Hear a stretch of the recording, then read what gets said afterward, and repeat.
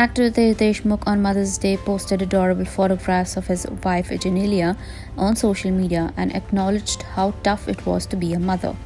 The actor wrote, Being a father for a lifetime is a walk in the park compared to being a mother for a day. Happy Mother's Day, Genelia. We love you. Flash, Riaan, and Rahyl. Genelia in the comments wrote, I love you, partner, and added three green heart emoticons.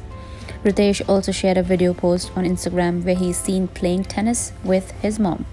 The video had a Marathi song dedicated to moms.